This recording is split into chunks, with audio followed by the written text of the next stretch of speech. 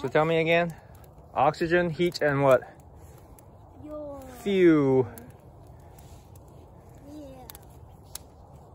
Maybe after we could we could chop some more off and throw it in. Well, we can save it for next time. We have plenty of wood down there already. Just wait until that bunch of uh, Christmas tree lit. All right. Yeah. Now it's warm. All right. Ready?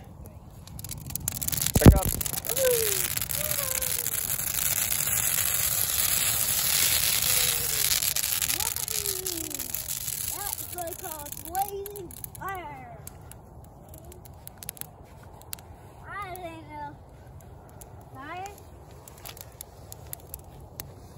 Sounds like popcorn.